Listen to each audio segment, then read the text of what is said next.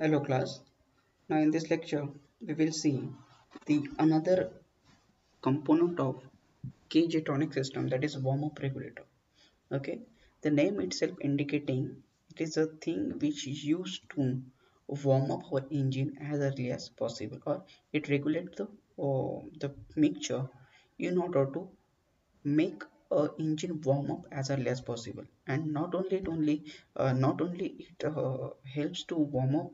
or regulate the mixture of the mm, uh, air fuel at the time of uh, cold starting even though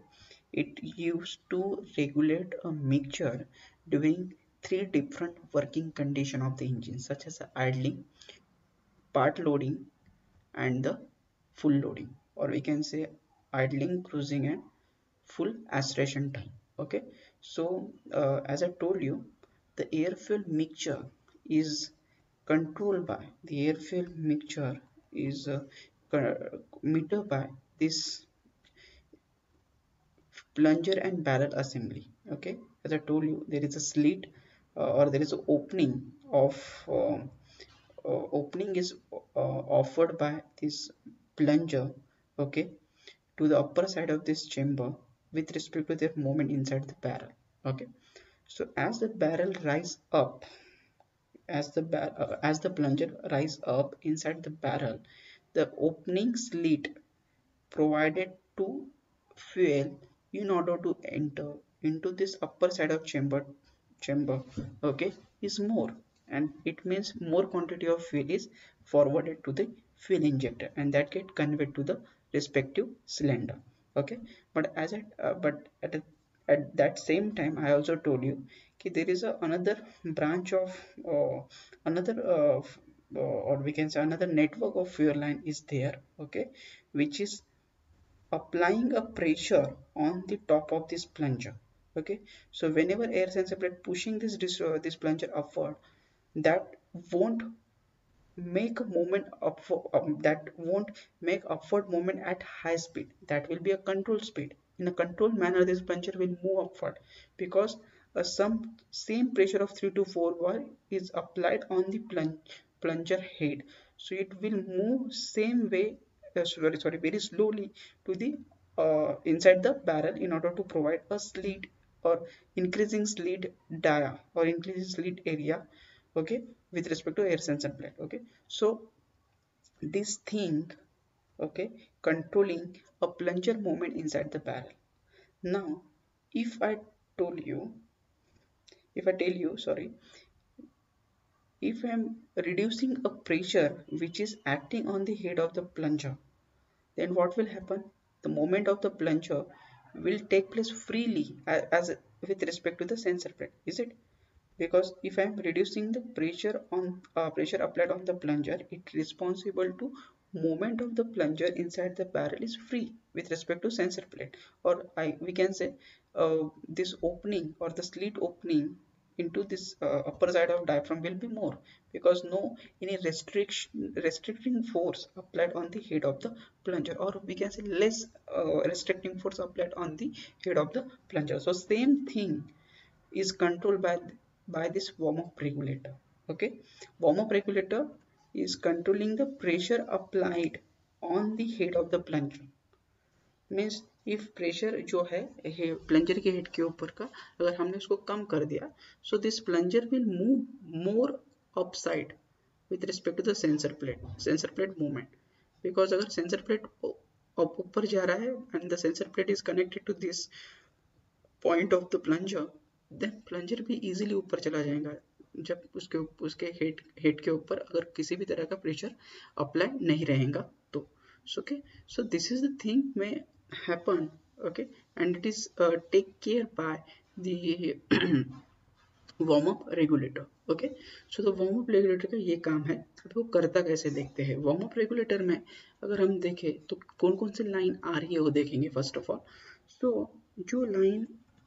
यहाँ से ये ऊपर जा रही है ओके ये लाइन जो है, वो यहाँ से जो हेड के प्लंजर के हेड के ऊपर से जो लाइन जा रही है, वो लाइन यहाँ से निकलते हुए okay it enter into warm up regulator at this point and इसी पॉइंट से एक दूसरा लाइन निकल रहा है okay it's out going out going line from the warm up regulator okay notice ये नोटिस करो यहाँ कि whatever the line coming from the top of the head of the top of the head of the head of the uh, that plunger is is going into the warm up regulator देखिए it's going into the warm up regulator and one line coming out from the warm up regulator and into the pressure regulator and through pressure regulator that line is conveyed to the fuel tank Okay so जो भी pressure इसके ऊपर apply हो रहा है head of the distributor head of the plunger के ऊपर, वो वार्म अप रेगुलेटर लीक कर रहा है फ्यूल टैंक में in order to regulate the fuel quantity okay so whenever that pressure get leak into the fuel tank okay through this way via pressure regulator that time uh, the fuel which is conveyed to this line this return line to the fuel tank will happen okay so fuel get returned some of some amount of fuel which is coming from the uh, this air filter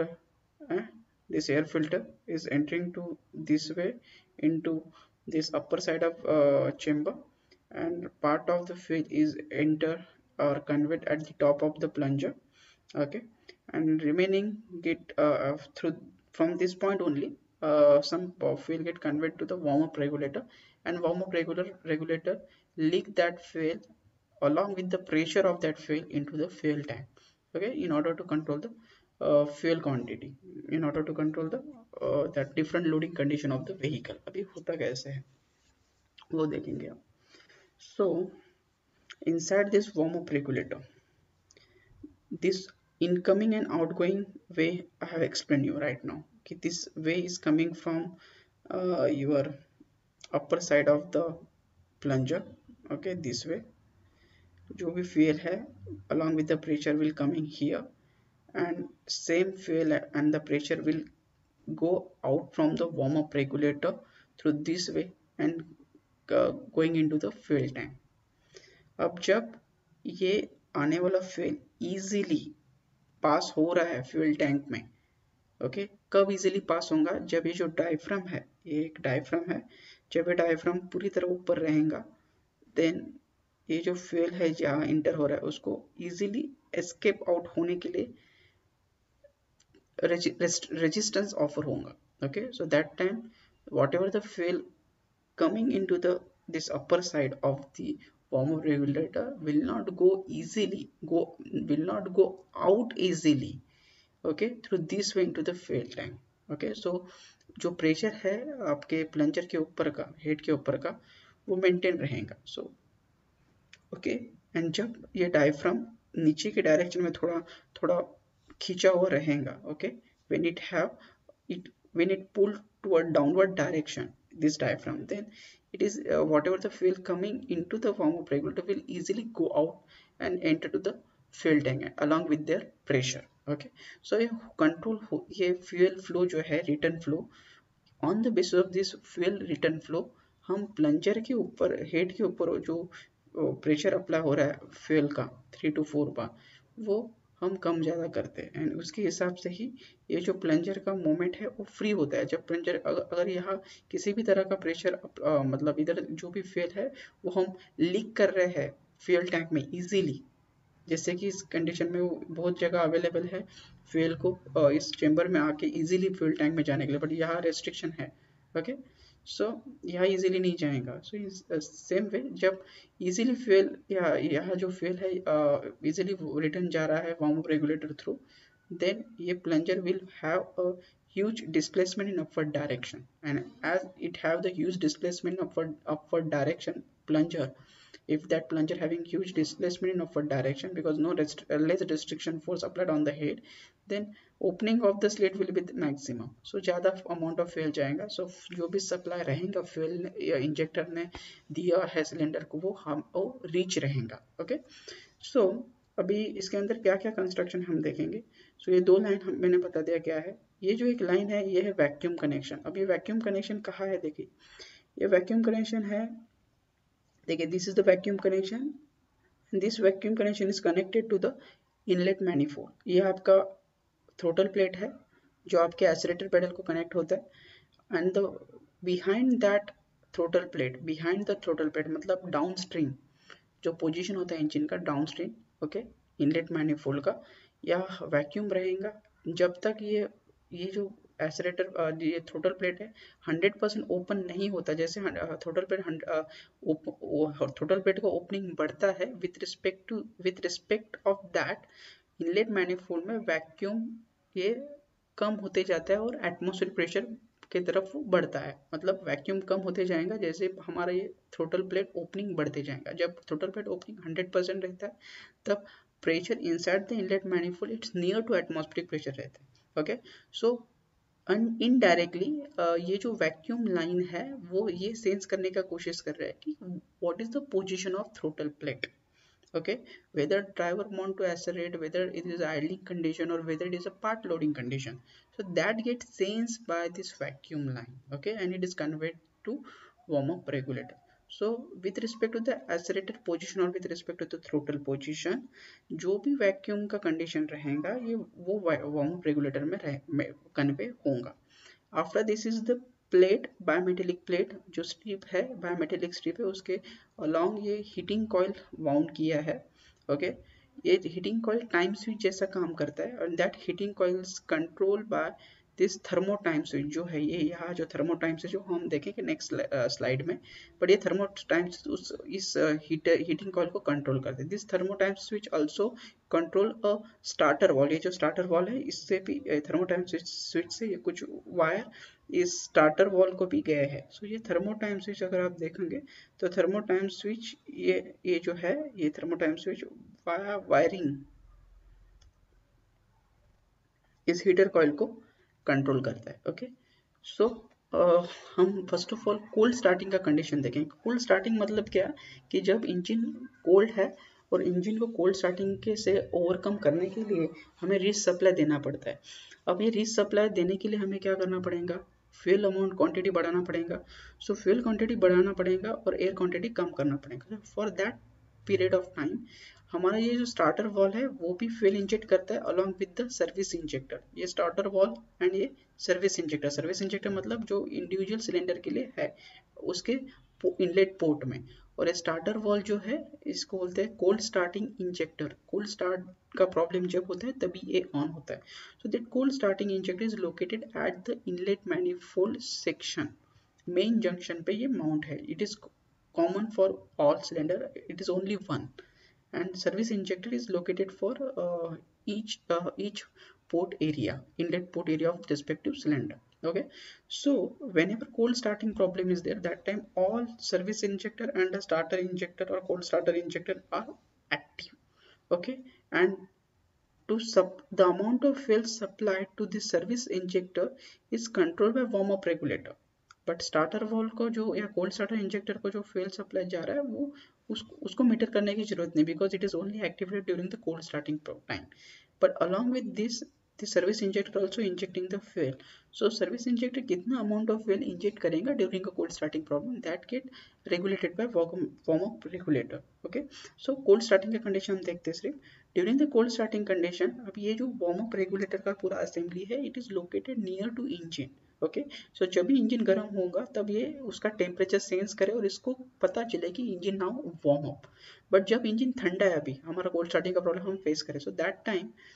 it won't sense any heat radiation from the engine, okay? Because engine ठंडा है so, during that time, ये जो बायोमेटिकल plate है, ये इस चीज़ को ये जो स्प्रिंग है, इसको नीचे दबा के रखेंगे। और जैसे ही दबा के, नीचे दबा के रखेंगे that time this diaphragm will have deflection like this as shown this figure so जो भी फिल आ रहा है from the top of the from the head of the plunger top of the head of the plunger will come here and go easily to the fuel tank, to this return line. So pressure applied on the head of this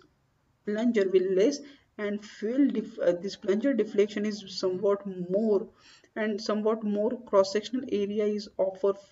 to enter fuel into this upper chamber of upper chamber. So it will get conveyed to respect to injector and that quantity will be more. So that time the rich supply is conveyed to the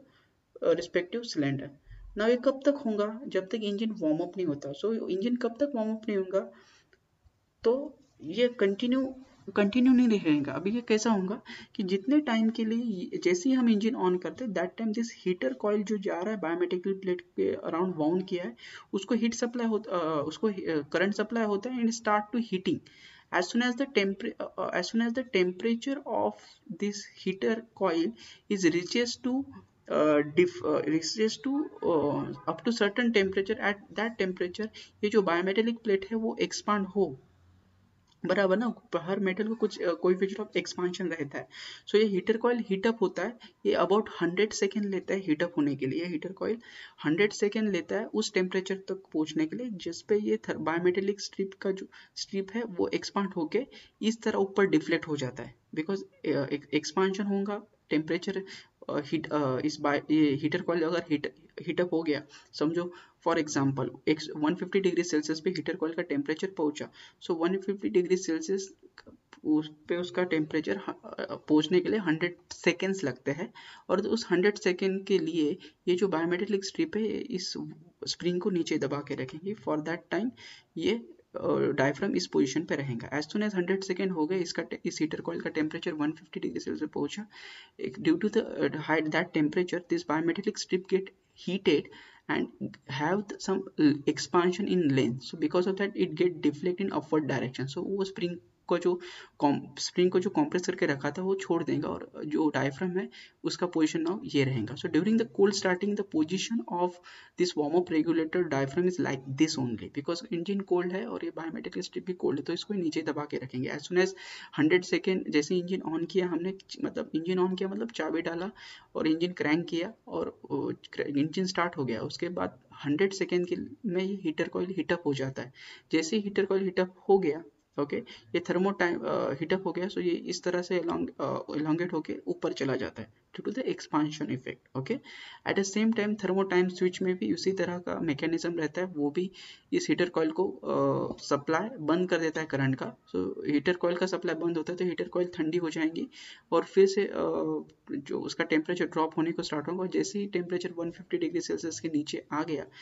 और engine फिर अभी तक warm up नहीं हुआ है sufficiently warm up नहीं हुआ है तो फिर से ये जो बायोमेट्रिक स्ट्रिप है नीचे धीरे धीरे धीरे धीरे नीचे आएँगे जैसे उसका टेम्प उसका टेम्परेचर कम होगा वैसे वैसे वो श्रिंक होगा और वो फिर से नीचे आके स्प्रिंग को दबाएँगा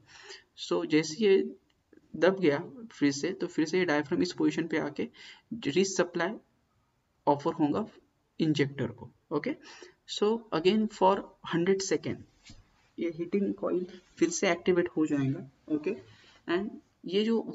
एक्शन है डायफ्राम का, ये जो बायोमेट्रिक स्ट्रिप का एलोंगेट होने का, फिर से धीरे धीरे टेम्परेचर कम होकर फिर से इस स्प्रिंग्स को दबा के डायफ्राम का ये पोजीशन लाने का सो रिस सप्लाई हमारे इंजेक्टर को जाए टू वार्म अप और इंजन क्विकली ये तब तक चलता रहेगा जब तक इंजन सफिशिएंट टेम्परेचर पे नहीं होता। अभी इंजन का टेम्परेचर सफिशिएंट कित कहाँ तक है तो हम बोलेंगे वो अच्छी तरह वार्म अप हुआ है। तो इंजन का टेम्परेचर हमें 85 टू 90 डिग्री सेल्सियस तक लाना है तब हम बोलते हैं कि इंजन वार्म अप हो गया है okay so eighty five to 90 degree Celsius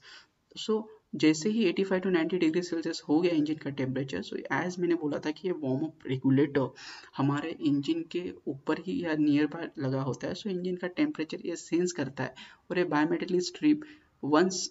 once engine warm up हो गया तो बायोमेट्रिक स्ट्रिप ऑल्सो ये टेम्परेचर सेंस करेगा और अपना ये जो पोजीशन है वो बना के रखेगा इधर हीटिंग कॉइल ठंडा हो या गर्म हो। So biometric strip once engine get warm up ये क्या हो जाएगा बायोमेट्रिक स्ट्रिप इस पोजीशन पर रहेगा। ना कोल्ड स्टार्टिंग का प्रॉब्लम ओवरकम हो गया ना हम प्रॉब्लम लेते हैं फुल फुल लोडिंग का, क्योंकि हमको पता है during full loading sorry high full throttle condition और हाई स्पीड एसोलेशन कंडीशन के टाइम भी हमको रिच सप्लाई लगता है और ड्यूरिंग अ क्रूजिंग हमें लीन सप्लाई लगता है। तो अभी हाई स्पीड अगर गाड़ी है या हमको एसोलेशन कर रहा है एसोलेशन कराना है व्हीकल का तो हम क्या करते हैं? फुल थ्रोटल प्रे, प्रेस करते हैं या फुल एसोलेटर प्रेस करते हैं। सो ड्यूरिंग दैट टाइम हमें व्हीकल को क्या चाहिए? रिच सप्लाई चाहिए। सो so, वो रिच सप्लाई हम कैसे रेगुलेट करते हैं? वार्म अप रेगुलेटर तो यहाँ देखिए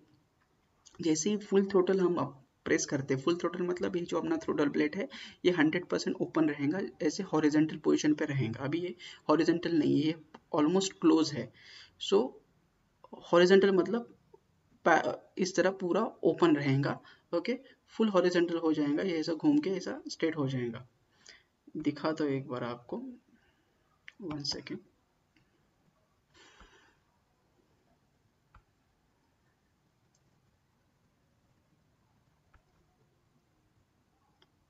ये पोजीशन रहेगा उसका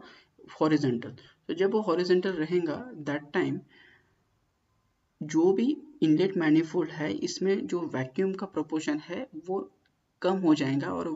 pressure inside the inlet manifold is near to atmospheric pressure so ये जो लाइन आ रहा है वैक्यूम सेंस करने के लिए वार्म अप रेगुलेटर में, वो भी नियर टू एटमॉस्फेरिक प्रेशर अंदर देगा और ये जो नीचे और एक डायफ्राम है, इस, ये, यहाँ से भी एक लाइन आता है, देखिए, ये, यहाँ से भी एटमॉस्फेरिक यहाँ ऑलवेज ये ये जो डायफ्राम है, इसके नीचे ऑलवेज एटमॉस्फेरिक प्रेशर रहता है और इसके, इस डायफ्राम के ऊपर जो भी वार्म अप रेगुलेटर इस चेंबर के अंदर दो टाइप के सॉरी एक ही टाइप का प्रेशर इंड्यूस होता रहता है, वो है pressure from the inlet manifold so इसमें ये क्या होता है कि यहाँ से कनेक्टेड है वार्म अप रेगुलेटर को और जिस तरह से हम थ्रोटल का पोजीशन चेंज करते हैं वैसे इस तरह से इनलेट मैनिफोल्ड का प्रेशर कम ज़्यादा होता रहता है about near to vacuum and about the vacuum और सॉरी वैक्यूम और नियर टू एटमोस्फेरिक प्रेशर इस तरह रेगुलेट होता रहता है जिस तरह से हम थ्रोटल पोजिशन चेंज करते हैं। So, वो वो प्रेशर ही वार्म अप रेगुलेटर के uh, इस बॉडी के अंदर इंट्रोड्यूस होता रहता है through this line okay so जिस टाइम हमारा फुल थ्रोटल पोजिशन है सो इस इस चेम्बर के अंदर क्या रहेगा? नियर टू एटमोस्फेरिक प्रेशर और इस इस डायफ्राम के नीचे क्या रहेगा? इस डायफ्राम के नीचे एटमोस्फेरिक प्रेशर और एट द सेम टाइम ये जो डायफ्राम इसके ऊपर क्या रहेगा? Pressure three to four bar जो क्या कहाँ का प्रेशर है? वो प्रेशर है प्लंजर के हेड के ऊपर से जो फ्यूल है, वो वार्म अप रेगुलेटर में आ रहा है। वो three two bar pressure three two four bar pressure यहाँ अप्लाई होगा सो so, यह एटमोसफेरिक प्रेशर और इसके नीचे भी एटमोस प्रेशर सो बट इस डायफ्राम में क्या है? इस डायफ्राम के about three to four bar pressure so that three to four bar pressure directly pushing this diaphragm downward direction and escaping through this warm up regulator through this return line and entering to the fuel tank so during this time also जो भी pressure apply हो रहा है हमारे plunger के ऊपर उसको हम क्या कर रहे हैं लीक होने दे रहे हैं वार्म अप रेगुलेटर से by equalising a pressure above this diaphragm and pressure present below this diaphragm okay so due to that time this three bar four bar is sufficient to pushing this thing in downward and get success to enter to the fuel tank through this line and due to that is the escaping of the fuel from the top of the plunger the uh, fuel uh, quantity metering slit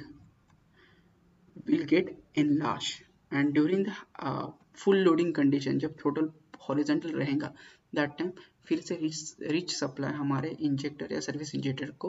offer किया जाता है। Okay so this is a thing ना अगर part loading है तो part loading मतलब क्या होगा? ये जो हमारा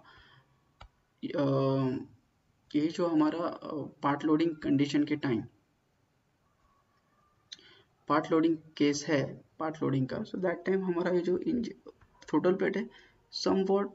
समवॉट ओपन रहेगा okay so during this during this time क्या हो रहा है कि जो भी अमाउंट ऑफ़ फ्यूल है सॉरी अमाउंट ऑफ़ प्रेशर है इनलेट मैनिफोल्ड में तो वैक्यूम नहीं रहेगा। It slightly is slightly about of vacuum and below the atmospheric pressure okay so that time क्या हो रहा है कि ये जो एटमॉस्फेरिक प्रेशर है नीचे, यहाँ का। वो डायफ्राम को ऊपर पुश करेगा बिकॉज़ इधर जो प्रेशर है, जो पार्ट इनलेट मैनिफोल्ड से कन्वे हो रहा है it is somewhat below atmospheric and somewhat above vacuum okay so ये जो डायफ्राम है, ऊपर के साइड में पुश होगा ओके okay? और क्योंकि यहाँ का जो प्रेशर है it's below atmospheric and above vacuum and at the same time यहाँ जो प्रेशर इंट्रोड्यूस हो रहा है, वो three two four bar pressure है। जो फ्यूल लाइन से आ रहा है। अब यहाँ के प्रेशर से और यहाँ के प्रेशर के दोनों के बीच में, ये बीच, ये जो स्प्रिंग है, वो कॉम्प्रेस होगा और जो भी ओपनिंग रहेगा यहाँ के फ्यूल को जाने के लिए return to the fuel tank वो कंपेरेटिवली लेस रहेगा इन दो केस केस के हिसाब से okay so because of that जो भी प्रेशर रहेगा हमारे प्लंजर के हेड के ऊपर वो ज़्यादा रहेगा और due to that the slit opening offer to fuel which is entering to the upper chamber will be less and during that time हमारा लीन सप्लाई जाएगा हमारे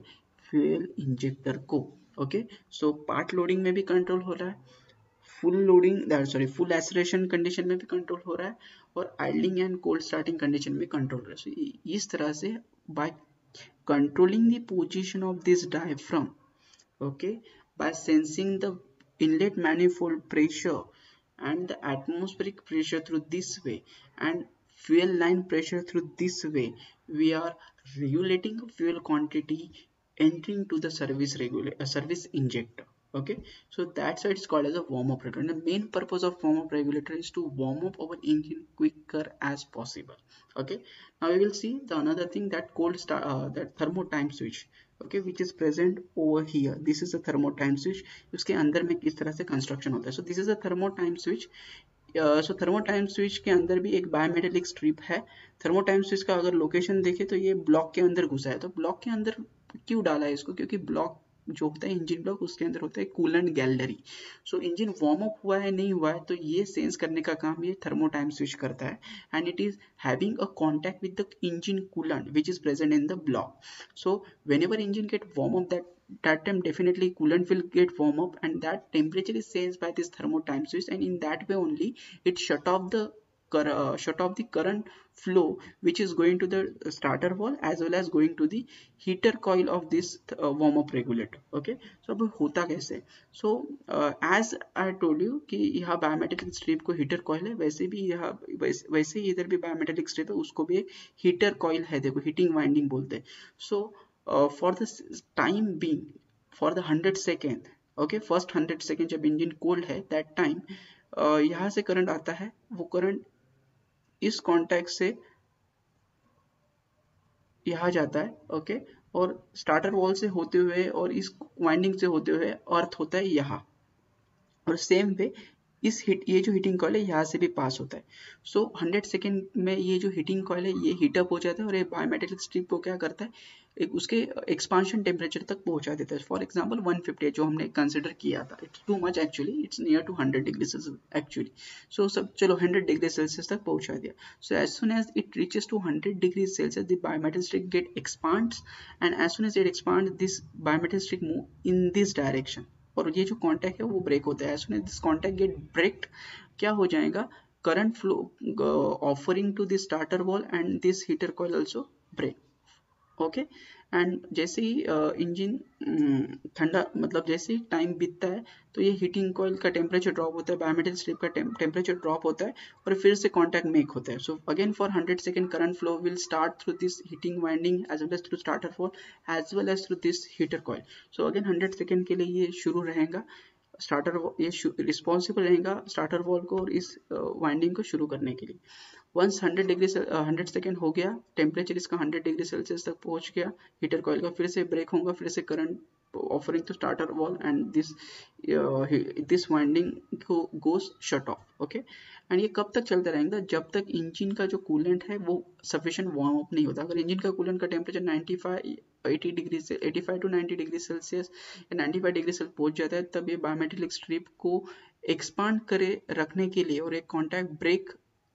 किंग के पोजीशन में रखने के लिए इंजन का जो टेम्परेचर रहता है वो काम करता है so in that for the that that time period till uh, temp engine is on the coolant will responsible to uh, responsible to maintain the break contact position of this thermotime switch so jab tak uh, temperature engine uh, का है 95 to 100 degree Celsius up to that time period ये contact break रहता है because at hundred degree से bimetal strip expand होता है और जैसे एक्सपांड होता है, ये क्या होता है? कॉन्टैक्ट ब्रेक करता है, क्योंकि इसका एक्सपांशन इसको अवे फ्रॉम दिस पॉइंट लेके जाता है। ऐसा बेंड करता है इस डायरेक्शन में। ओके सो ये कॉन्टैक्ट ब्रेक होता है। जब तक इंजन वार्म अप नहीं होता, तब तक तब तक ये कॉन्टैक्ट रहता है। और दूसरा टाइम कब रहता है? जब ये हीटिंग कॉइल ठंडा रहता है तब। जैसे हीटिंग कॉइल भी 100 डिग्री सेल्सियस पहुँच गया फिर से कॉन्टैक्ट ब्रेक होता है okay this is a thermo time switch. Another thing this is auxiliary air valve which is located or which is uh, mounted parallel to this throttle plate okay? So जब हम engine warm up करते हैं या cold starting रहता है तब हम एसरेट करके इंजन को वार्म अप नहीं करते। सो फॉर दैट टाइम जो इंजन एयर क्वांटिटी जा रहा है इनलेट मैनिफोल्ड में कम रहता है comparative so to open to enhance और to increase that air quantity which is offering to the engine वो बढ़ाने के लिए यहाँ एक ऑक्सिलरी uh, और बाईपास एयर वेंट रहता है ओके okay, जो थ्रोटल प्लेट को बाईपास करता है because during that time we have not pressed our accelerator pedal okay during warm up period okay, क्योंकि सुबह सुबह अगर कभी विंटर में आप गाड़ी स्टार्ट करते हो तो यू यू विल फाइंड कि आपका इंजन का आर पी एम ये पी एम जो रहता है that one five zero zero revolution per minute उससे कंपेरेटिवली ज़्यादा रहता है। वो two thousand R P M से थोड़ा uh, ज़्यादा पे रेस होता है। Once engine get settle at particular temperature if you notice the temperature gauge wait it when the temperature get settle at the centre point that time RPM goes down and it will stop at the position of 1500 degrees uh, 1500 revolution per minute okay? So why that thing happen because this uh, at for that period of time without pressing your accelerator pedal uh, the auxiliary air port get active as well as starter valve port get active to warm up your engine early as possible so fuel quantity भी बढ़ गया air quantity भी बढ़ गया so because of that normal idling का जो speed होता है उससे rpm थोड़ा ज़्यादा है for the time being जब तक engine warm up नहीं होता okay? So that time switch and the starter uh, next thing जो हम देखेंगे स्टार्टर वॉल देखेंगे okay? ये ये जो ऑक्सिलरी वॉल है उसके अंदर भी बायोमेट्रिक स्ट्रिप है। And that biometric strip again control by this thermo time switch only okay so so, ये ओपनिंग होता है एयर को जाने के लिए। So for the warm up period के लिए ही ये ओपनिंग बढ़ जाता है और ज़्यादा अमाउंट ऑफ़ एयर क्वांटिटी ज़्यादा जाता है हमारे इनलेट मैनिफोल्ड में। सो so, ये क्यों होता है? क्योंकि हमारा थ्रोटल प्लेट क्लोज रहता है उस टाइम सो कंपेरेटिवली आइडलिंग से हम ज़्यादा एयर क्वांटिटी ऑफ़र करते हैं टू वार्म अप और engine quick up okay so now this is a cold starting और कोल्ड स्टार्ट एनरिचमेंट डिवाइस और स्टार्टर वॉल ये स्टार्टर वॉल लोकेट कहाँ है? यहाँ है। Okay it is common for all cylinder ऐसे नहीं कि चार सिलेंडर इंजन है तो चार स्टार्टर वॉल रहेंगे। जो चार सिलेंडर इंजन है तो चार इंजेक्टर या फ्यूल वॉल दिए जाते हैं, उसको सर्विस इंजेक्टर बोलते हैं। वो उसके पोर्ट एरिया में रहते हैं इनलेट पोर्ट के एरिया में। But the starter valve is located at the manifold region it is common for all अभी को जो, अभी के जो इंजन आ रहे हैं nowadays those engine are not coming with the starter valve उनका जो service injector that is already tune to behave as a starter valve okay or cold starting injector during the cold starting problem but in uh, in the very early of this FI system there was a separate valve was used to overcome the cold starting problem that is called as starter valve okay along with the service injector now uh, we will see the how the, uh, the construction of the starter valve or the cold starting injector so इसके अंदर भी क्या होता है कि ये uh, fuel uh, fuel line है या strainer है that will uh, you uh, that will um, control uh, what filter the uh, big foreign particle which is entering to the uh, orifice of this uh, injector uh, after that you will see there is a uh, solenoid winding is present over here and this solenoid winding having a uh, electric supply through this through those terminal okay ये winding को supply uh, uh, जाता है और ये supply कहाँ से आता है ये थ्रू थर्मल थर्मोटाइम स्विच से ही आता है। ये जो थर्मोटाइम स्विच है, जब तक ये थर्मोटाइम स्विच का कांटेक्ट क्लोज है, तब तक ये स्टार्टर वॉल को और इस इस हीटर वाइंडिंग को और इस ऑक्सिलरी एयर कॉइल के हीटर वाइंडिंग को करंट सप्लाई ज़्यादा रहेगा। जब तक ये कांटेक्ट क्लोज है, तब तक। जैसे इंजन वार्म अप हो गया इंजन का टेम्परेचर 95 डिग्री सेल्सियस तक पहुँच गया, उसके बाद ये कांटेक्ट अपने आप ब्रेक हो जाता है और current supply to starter valve this coil and this heating coil get shut off okay? So uh, ये जो सप्लाई है वो थर्मोटाइम स्विच से आ रहा है ओके okay? सो so, जब तक थर्मोटाइम स्विच का कॉन्टैक्ट क्लोज है तब तक। सो so, जब थर्मोटाइम स्विच इसको सप्लाई देता है दैट टाइम ये जो आर्मेचर है हमारा okay it get move in downward direction it get move in downward direction because इसके अंदर जो ये जो स्प्रिंग है ये स्प्रिंग क्या करता है? इस ये जो आर्मेचर है उसको ये जो सीट है, उसके अगेंस्ट प्रेस करके रखता है। जब ये आर्मेचर ये जो आर्मेचर है, इस सीट के अगेंस्ट अगर प्रेस करके रखा तो जो भी फ्यूल आ रहा है यहाँ से it won't able to it not able to enter into this injector body okay वो यहाँ आके स्टक हो जाएगा। बिकॉज़ ये जो आर्मेचर है, वो इस सीट के अगेंस्ट टाइटली होल्ड है। Is it so because of that what happen ये जो एंट्री ही नहीं रहेगा फ्यूल को इसके अंदर आने के लिए। So as soon as current get supply to supply to this what this winding the armature get pull down against this spring load and fuel can fuel are ready ready to enter in to this body and will able to travel through this way and suppose to enter through this uh, orifice into the uh, through this via this orifice into the inlet manifold and it will start the fuel injection. So as soon as the current uh, supply to this winding gets shut off that time definitely the spring is responsible to push the armature in upward direction and that uh, that flow of fuel into the uh, that uh, service injector body get shut off. Okay? So this is a time factor for the 100 second के लिए ये जो अपना thermo time switch है, वो fuel inject starter इस ये जो सर स्टार्टर वॉल इंजेक्टर है या कोल्ड स्टार्टिंग इंजेक्टर वॉल है, उसको सप्लाई देता है और for hundred for hundred second ये फ्यूल इंजेक्शन करेगा at along with the service injector as soon as hundred second खत्म होता है, ये कॉन्टैक्ट ब्रेक होगा। एंड अगेन बायोमेट्रिक ठंडी होने के बाद फिर से कॉन्टैक्ट मेक हो गया फिर से नेक्स्ट हंड्रेड सेकेंड के लिए स्टार्टर वॉल एक्टिवेट होगा। बट कब तक ये होता रहेगा? ये साइकिल हंड्रेड हंड्रेड सेकेंड का जब तक इंजन का कूलन अपने आप uh, खुद uh, मतलब constantly ninety five degree Celsius तक नहीं पहुँचता। समझो फोर्टी डिग्री सेल्सियस तक पहुँचा है और then number of hundred second का साइकिल हमको दो या तीन करने के बाद अगर वो 95 डिग्री सेल्सियस पे कूलेंट पहुँच गया मतलब इंजन वार्म अप हो गया तो उसके बाद फिर से स्टार्टर वॉल एक्टिवेट नहीं होगा, जब तक इंजन फिर से ठंडा नहीं होगा। तो इंजन ठंडा कब होगा? जब इंजन हम उसको बंद करके रखेंगे तो इंजन वो ठंडा हो जाएगा। सो दैट टाइम फिर से कॉन्टेक्ट मेक हो जाएगा। तो ऐसा नहीं कि इंजन शट ऑफ़ है इंजन से चाबी निकाल लिया और एक कॉन्टेक्ट मेक है then also starter valve will activate not like that engine ठंडा है कॉन्टेक्ट मेक है और गाड़ी का इंजन uh, हमने ऑन किया है by cranking the vehicle okay तो देने ये इंजेक्टर स्टार्ट होगा okay so this is the thing which is control by this thermo time switch in order to regulate the fuel quantity to overcome the warm overcome the cold starting problem to manage the our high high uh, high acceleration rate or full uh, throttle position and part loading condition. Okay so there are basically three range in, on which your vehicle is running. That is idling sec second is uh, cruising and third is the uh, full throttle or the full power range. Okay so these all uh, three cases along with the cold starting problem get controlled by this warm-up regulator with the help of the thermo time switch and the starter valve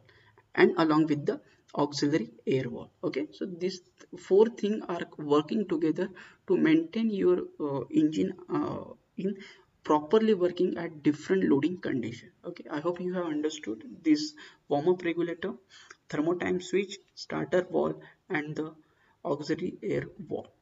if you feel any difficulty do ask me in comment section. Thank you